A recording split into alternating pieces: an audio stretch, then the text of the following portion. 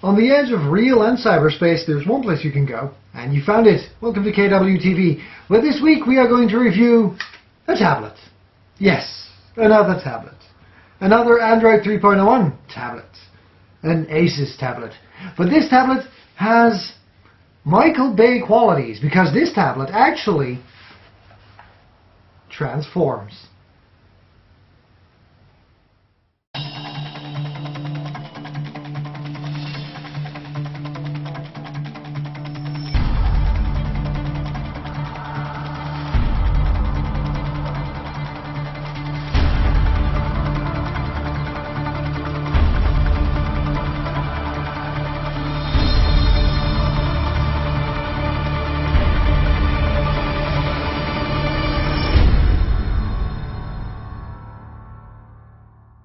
The edge of real and cyberspace, there's one place you can go, and you found it. Welcome to KWTV, the one and only screencast that tunes tech, your way of life, and lets the technology work for you. My name's Knightwise, and on this Sunday evening, I'll be your host for the coming uh, 30 or 40 minutes or so for this episode of KWTV, where we are going to review the Asus EEE Transformer.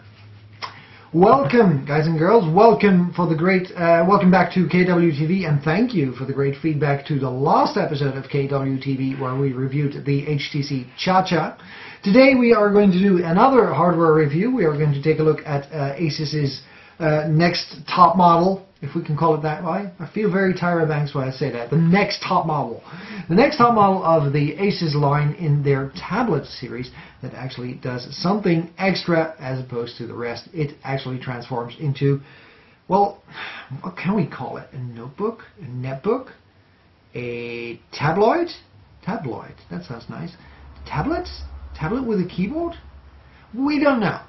But safe to say that this will be the first netbook that will come into our hands that will actually come with a keyboard, a touchpad, a mouse, and a touchscreen, and Android. So it's kind of not a netbook, not a tablet, not a notebook, not a laptop, nothing really in between. We are going to check it out what it is. So stand by as we are going to review the Asus EE Transformer right here on KWTV.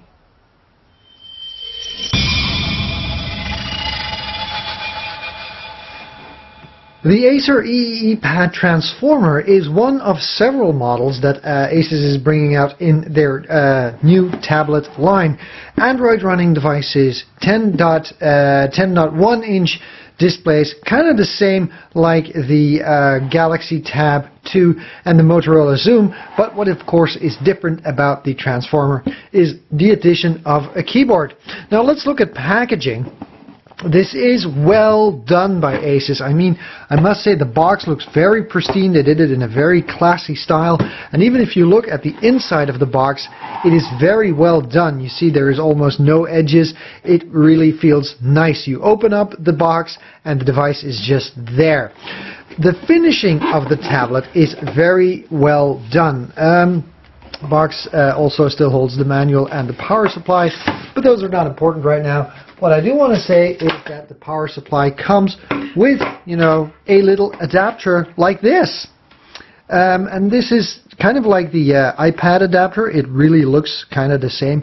And I think it's the same than the one that they use on the Galaxy Tab. So no standard micro USB to charge the device.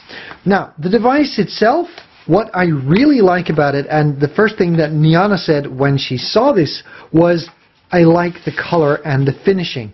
This is a brown golden color and the surface of the tablet is actually quite textured as you can see when I'm holding it in the light.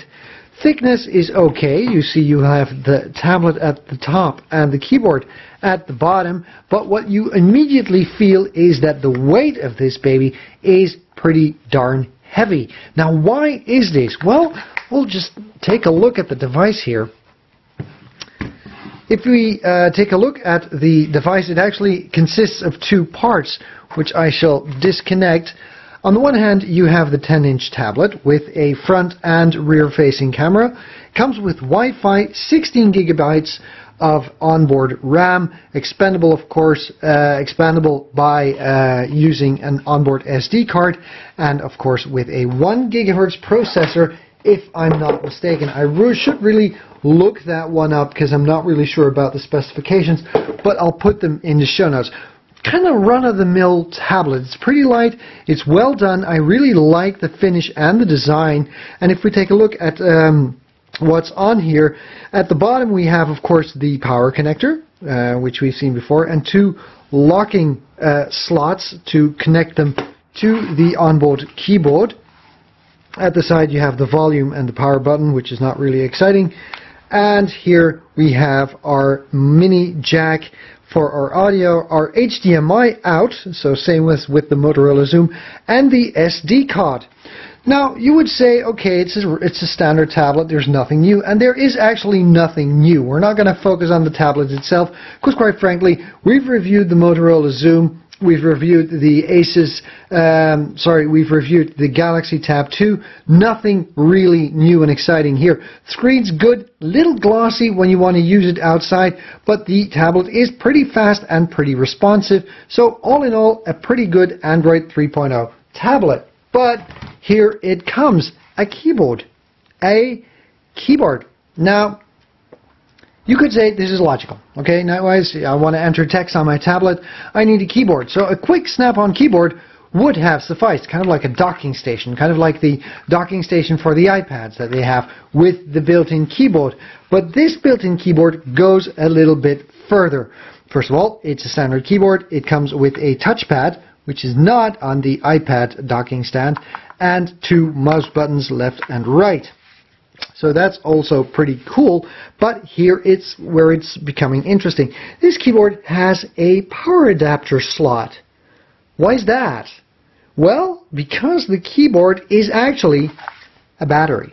It gives you 8 extra hours of battery time on your Asus uh, EEE pad. So that is pretty interesting. And it also comes with, check this out. Let's see if I can get it open. Yes, yes, yes, you see correctly. It comes with a USB connector. A tablet with a USB connector, and not a micro USB. No, no, no, no, no. This is your run-of-the-mill, full-size USB connector that you can use to add peripherals to your tablet. And if you think one USB connector is enough, well, guess what? There is another USB connector on the other side. And as I mentioned, there was a micro SD slot on the Asus EEE tablet, well guess what? Here is another one. They have a standard SD card slot reader on the keyboard. This is great. It gives the tablet extra functionality. This is not so great because it makes the whole device pretty heavy and what weighs is the battery. Now if I take both devices and I need to say which one's heavier, I will say that the keyboard is the heaviest one of the two. Now, connecting the device is pretty nifty. Kinda, see, lock it in, kind of locks in like that, and it will immediately recognize the keyboard and start working on the keyboard. Now we'll take a look at how the keyboard works and how it functions in a little bit, and uh, we'll get a little bit up close to the tablet to do that.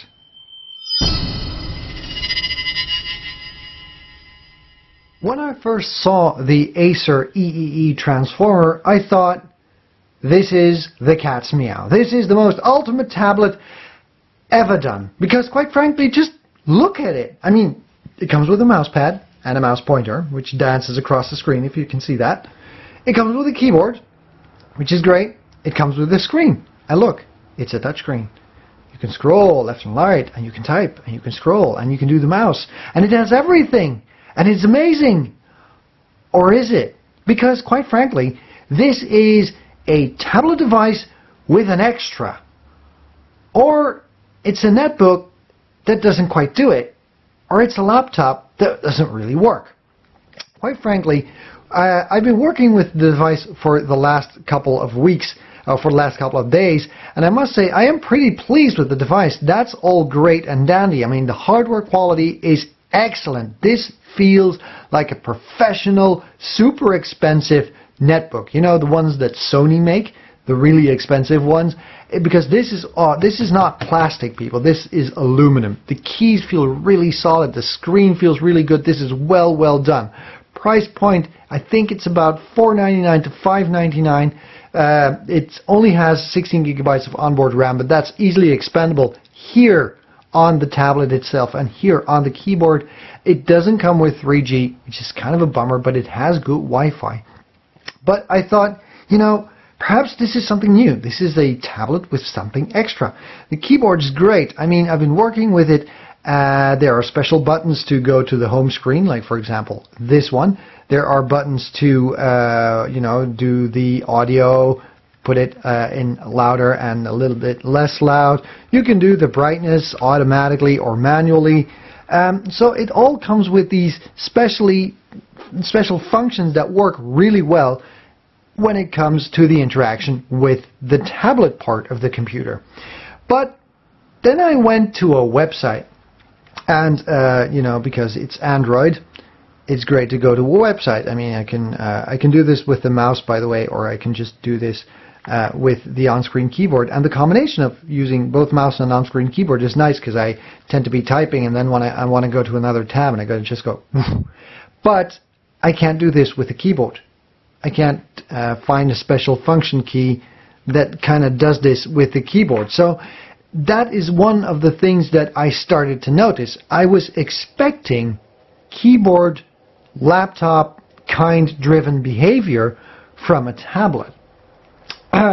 It becomes really obvious when you go to the internet. Let's say you surf towards a certain website. Uh, let me see if I can open up the internet here. Where is the internet? The internet. I cannot find the internet. Um, I put the browser here somewhere. I know you're screaming at your uh, laptops uh, by now. So I went to one of the websites and I filled out a form.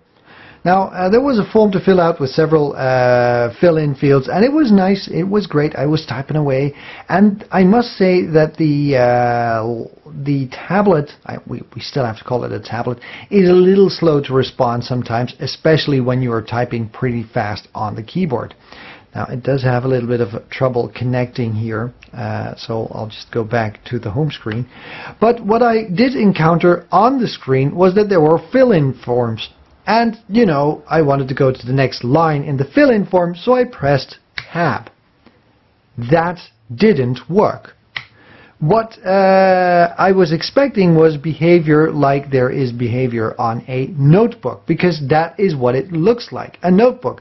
So when you, when you uh, press Alt-Tab, you expect the device to go to the next application. It doesn't. You have to go to the application chooser and choose the other application from there. So this is my dilemma. What is this? Is this a tablet with a very heavy keyboard? Or is this a netbook that doesn't really have a real OS? Is this something more like Google's Cloudbook? I don't really know. But in the end, it comes down to the fact that this device, to me, is something I just can't place right now. It's a strange little well, mashup of two things that somehow belong together and then somehow don't quite work together. Interacting with the tablet while you're using a mouse is funny, is strange to, to get used to, but when you want to use the tablet OS as you use a laptop OS, it becomes kind of different because the tablet OS wasn't really written for it.